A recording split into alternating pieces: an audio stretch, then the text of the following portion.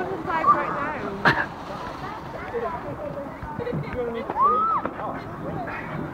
It's got to be head first to be on the map. Yeah, head first. Head first. Right,